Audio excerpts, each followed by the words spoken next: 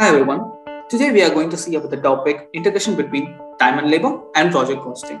So everyone have the difficulties in uh, finding out the integration between time and labor and project costing. As we know that time and labor is a HCM module and project costing is an ERP module. If we complete the session of the integration between that, it will be easier for us to have the, all the benefits knowing the integrations. So let me moving moving forward. I'm Manoj Krishnan. I'm Oracle Cloud Consultant at Kovaion Consultancy, and I have experience of around 10 months in Oracle ERP Cloud. And regarding the agenda, today we are going to cover Oracle time and labor and project costing and the data transfer, how it is exactly happening, and minimizing the error. What are the errors and how can we minimize it? And the basic project setup, which has to be needed for uh, the Oracle time and labor and project costing and if you see about Kovaion, Kovaion is a business transformation and technology solution partner. We are headquartered in UK and spread across USA, Philippines, and India. We are specialized and have expertise in different HCM, CRM, finance, and application development technologies. And moving on to the next one. This is exactly how time and labor and project costing works.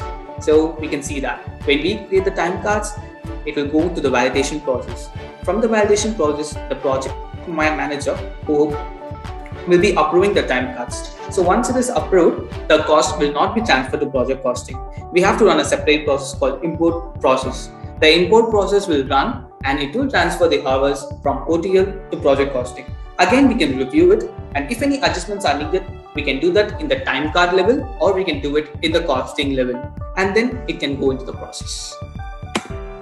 So this is exactly how it works like we fill the timesheets OTL and the project manager manager has to approve it. Once he approves it, it goes to the project project costing. We have to run the import cost process. So then it goes to the project costing. In the costing, we can make the adjustment and changes we, we can make, and then we can process it. Move on to the next one. The prerequisites in project so if the integration is possible, we have to know what exactly are the prerequisites required here. So we can see cost rate overrides and project overview, transaction control, and project resources. These are the four main modules which can be considered as the prerequisites in project setups. So this screenshot can explain us more. That is, with the cost rates, we can just define the rate for the employees. So how much is the per hour rate for the employee, and also according to the person name, we can uh, assign the expenditure type and the rate for the employee. If any of these details are missing, we, will be having errors and the integration will not be happening according as expected. So as next we can see the project overview. As seeing a project, we, will be knowing that whether the start date and the finish date and whether it's active or not. All the all these details are very much important in uh, having this. And then comes to transaction control. I know many of us wouldn't have been heard about the topic called transaction control. But when we see that the, a leave or a or a expenditure type has many types like casual leave, earned leave, and professional professional stay time. So we can just assign those whether it is billable or not. Only if it is billable, it will be invoiced. If it is not billable, it cannot be invoiced. So for that also we can also have a from date and to date. From which date to which date it has to work. So all these setups can be configured here. Once it is configured, we'll be good to go.